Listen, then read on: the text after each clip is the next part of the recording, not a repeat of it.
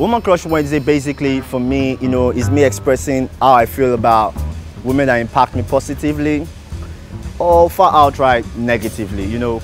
I think this is a show about women that, you know, crush it all the time. I get to say the things that you're thinking of. Things like I like her because she's light skinned, or I like her because she's model size, or I like her because she has big. Mm.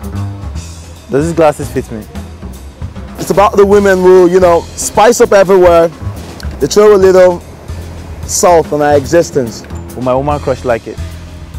Sometimes we just like them for no reason. What is the show about? I thought it was just like babes we like, like babes you just want to like ah! crush. For me, it is mostly about the facts because no time.